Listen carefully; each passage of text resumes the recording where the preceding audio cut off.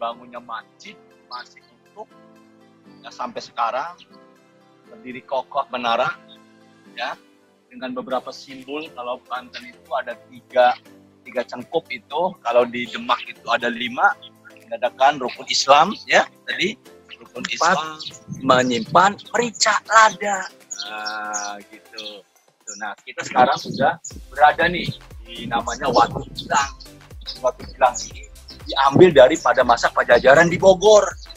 Ya dengan di, di apa namanya diambilnya batu gilang sudah ada tidak lagi Tita Raja. Karena pada masa dalam catatan sejarah Banten itu sultannya itu masa Ageng Tetaya saya jelaskan itu adalah sudah ada perdagangan dengan Manila.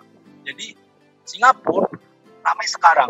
Yang ramai itu Manila. Perdagangan semua bangsa-bangsa masuk ke Banten untuk memperjualbelikan perdagangannya. Seperti dari Cina bawa sutra kemudian dari uh, Timur Tengah bawa minyak wangi nah, kemudian dari India gading itu diperjualbelikan. Pulangnya di Bali namanya Banten ya nama halusnya Banten itu adalah tempat sesajen. Bisa saja cenderung Banten dulu nah, namanya ini. Ya, nah, ini tembikar-tembikar yang dihasilkan pada masa Kesultanan Bali gerabah terutama gerabah kalau Cina kan keramik ya. Kalau ini kan dari keramik kan campuran. Kalau ini murni dari tanah liat namanya gerabah ini motif. Apa nama kesenian khas dari Banten? Tepus. Di sana pemakamannya ikut mana ya?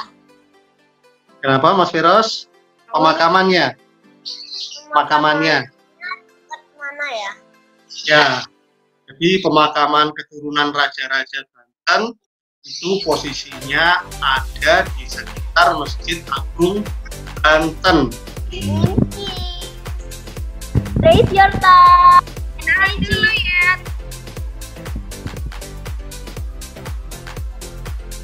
Siap.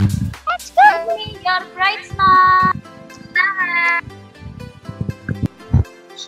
smile. dulu adik-adik Assalamualaikum Dadah. Semangat belajar di rumah. Walaupun di rumah tetap belajar. Makasih. terus jaga kesehatan